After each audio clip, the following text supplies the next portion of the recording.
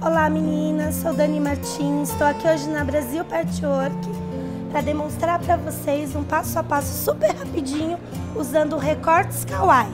Eles vêm dessa maneira, em duas peças, e aí a gente junta, caseia, aqui no meio eu colei para ir mais rápido até para vocês em casa estarem visualizando, e essa borboletinha a gente vai transformar ela num lindo chaveiro. Vamos casear a peça. O caseado não está dos melhores porque aqui na feira é tudo meio que rapidinho, mas vamos lá. A gente vai caseando. Em casa vocês vão fazer com calma, tendo tempo, caprichando mais um pouquinho no ponto, tá bom?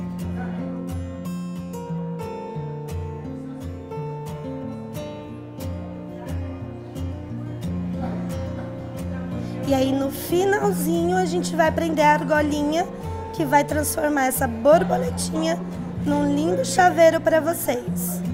Uma opção, vocês podem estar tá enchendo com a fibra, a fibra da Santa Fé. Aqui finalizando a peça.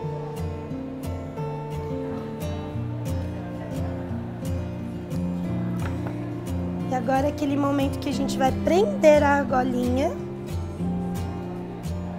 Que eu estou usando a linha da mesma cor. Mas em casa vocês vão procurar as linhas da, do tom do recorte, que é super importante para um acabamento bem feito.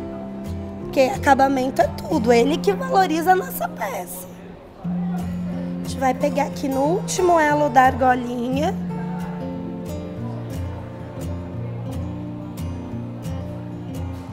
colocar aqui, ó, camadinha de feltro, argolinha, camadinha de feltro. E vamos dar um, uns pontinhos.